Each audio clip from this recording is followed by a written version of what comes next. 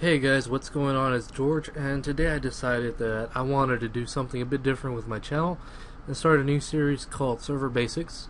This is going to be the first episode, and I'm going to be using, as you can see, uh, Virtual VirtualBox.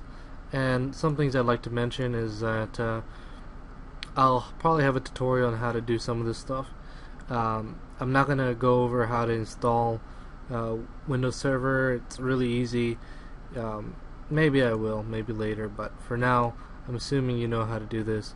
Under networking, it's really important that um, you use a bridge adapter, and under promiscuous mode, I allow VMs, virtual machines. Um, other than that, everything else should be uh, the same. Again, it's both for your client PCs and for your server. So uh, here I am on the server, and uh, the first thing you're gonna have to do is uh, go ahead and go through the validation, put your activation keys. If you're in university, uh, you can uh, get this stuff for free. Uh, if not, um, you can just use the trial version for learning purposes. Uh, anyways, then you have to change your time and all that stuff. You can do that on your own. Make sure you set your time to the internet time and uh, have it do that. And set the right time zone, of course. Um, anyways, we're going to go here to the server manager. You can find that uh, also in Start, Administrative Tools, Server Manager. Uh, right now, under the role section, we have zero roles installed. And um, also, if you're going to do this in a real environment, be sure to put in a good antivirus as well as uh, as doing all your updates. I haven't done all the updates yet, so uh, I might run into problems and have to do the updates later, but uh, but we'll just see. I know I'm not going to run into problems right now.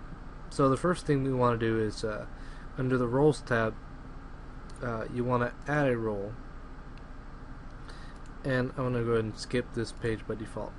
Essentially, these are a list of roles that your server can have. The first role that you want on a server, usually, typically, is the Active Directory Domain Services role and uh, it's ask you here that it also needs to download this. Go ahead and add that. Um, so there yeah, Active Directory. And uh, pretty much what Active Directory is it's where you you store pretty much all of your users your organizational units printers and uh, as well as your computers. And then from there you can uh, organize the permissions as to who can do what and uh, on which computers can they do it on, and so on and uh, so on and so forth. Uh, essentially, it's really a security tool, and it, it's more of a uh, uh, for convenience as well.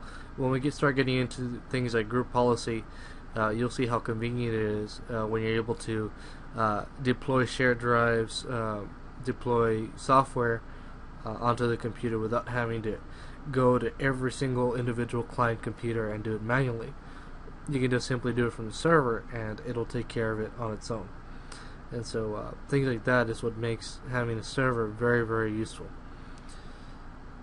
Alright, so the installation uh, is still going.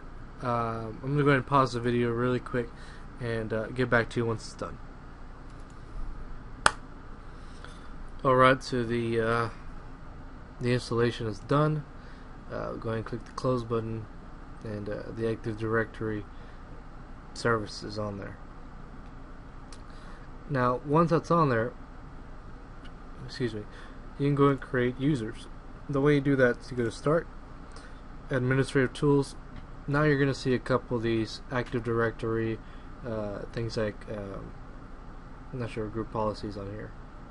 Um, yeah, well, you got the Active Directory stuff, so that's really uh, what we need right now. So Active Directory users and computers, that's what you want to click on.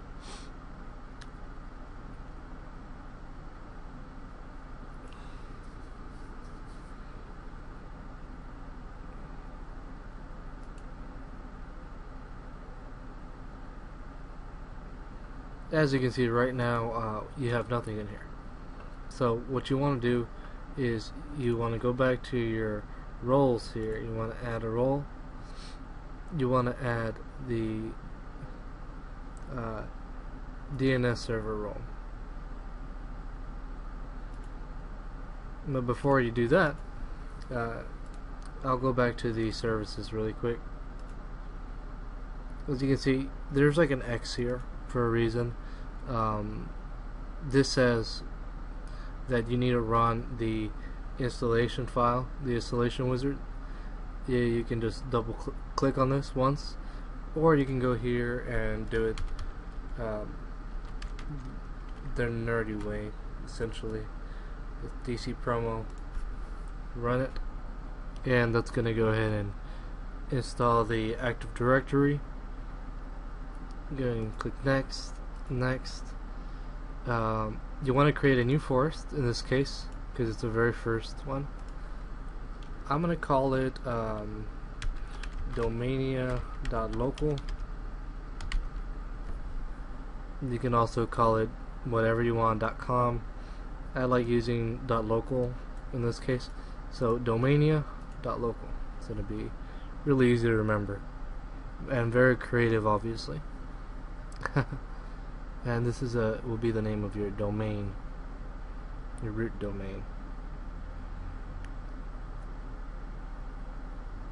Okay, it's checking it out, seeing if it's good to go.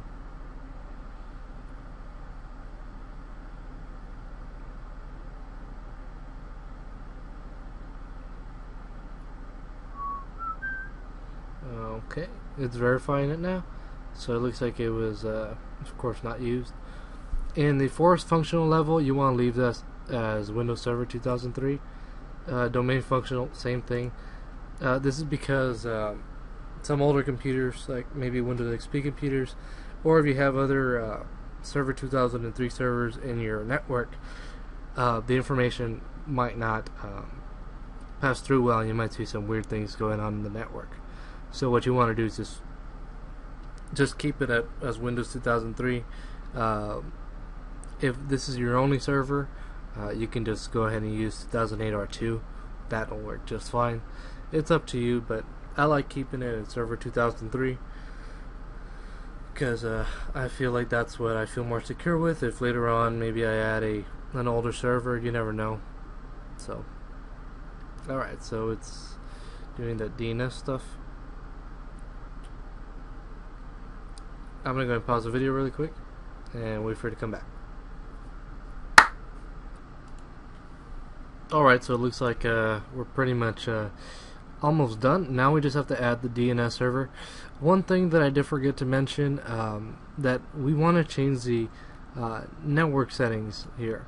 So um, what I'm going to do is going to run a quick com command prompt as administrator.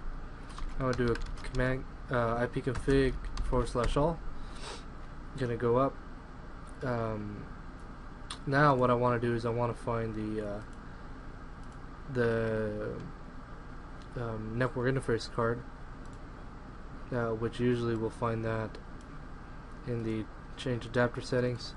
Right click on that properties and um, here we have our IPv4 settings. What we want is to have this server set as static IP um, what I'm going to do is I'm going to go to 192.168.77.100 um, and then I'm going to have the subnet mask of uh, class C. Right now is 192.168.77.1 and the DNS server I believe is also the same thing. Yeah.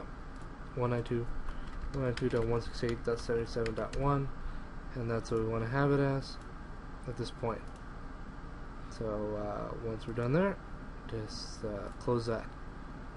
And we should still be okay. Um, if we do an IP config, uh, dash all again, now we should have that 100. Now ping google.com and we're pinging it just fine and we're going to ping the default gateway and we're gonna ping it just fine. Alright, good. Control C, by the way, we'll go ahead and just close the command, uh, what I'm doing. So, alright, cool. So now I have to add the DNS server back here. Uh, it's requesting it to be done, so go ahead and do it as well. Go ahead and click next, and it's it's gonna go ahead and take care of this in a couple of minutes. Alright, it prompts me with this uh, warning message. Uh, you just want to continue. At this point, leave everything default. Then here you want to come up with a pretty secure uh, domain administrator password. You have to have at least one capital letter and one number and one lowercase letter. For this purpose, I'm just going to make something really simple. Something that's probably going to be the same throughout this. Alright, now it's going to go ahead and take care of this. Um, I'm going to go ahead and check the reboot on completion. And I'll be right back once the computer boots up. Alright, now the computer has completely rebooted. And uh, we're going to go ahead and insert a control alt delete. Now you notice that we have the domain name Domania uh, administrator. Go ahead and enter that administrator password that you entered uh, during the installation. For me, uh, just for testing purposes right now, it's uh, password 1, capital P. It doesn't really matter whether you know this or not, but you know, might as well just tell you. It's a good little tester one, or it's a good one when you create users, uh, which will be in our next tutorial. So, essentially, that's it. That is everything that you need to know um, about how to install uh, Active Directory and exactly what it is. Uh, now, in the next episode, I'm going to go into exactly um, what it is that uh, I'm going to go ahead and click Don't Show.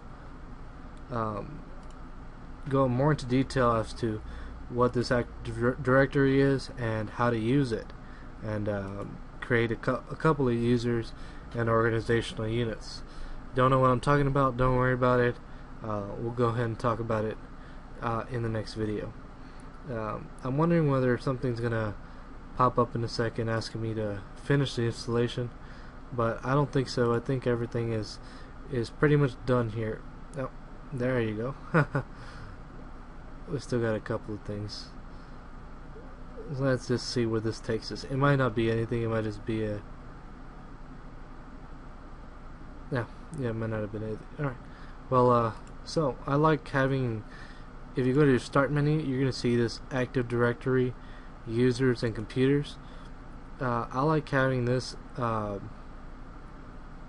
not on the start menu, but I like having it in the uh, desktop. So what you can do at that point, if you want to do that, you can of course go to Start, Administrative Tools, go to your Director, Active Directory Users and Computers, right click on it, Send to, and Desktop. So just create the shortcut. Uh, so now if we if we can get all this crap out of the way. There you go. We have the Active Directory icon on there. So alright well that's uh, pretty much all that I have for you guys today. Um, and uh, in the next episode again I'm gonna go over creating a user with the Active Directory and uh, and we'll go from there Alright, hope you all enjoyed the video. If you guys liked it, please make sure to leave a like down there. If you have any questions, leave it in the comment section below. Um, or, uh, I mean, if you want to keep up with these uh, server tutorials, go ahead and uh, click above me in the subscribe button. And uh, I hope to see you all next time. Hope you enjoyed. Bye-bye.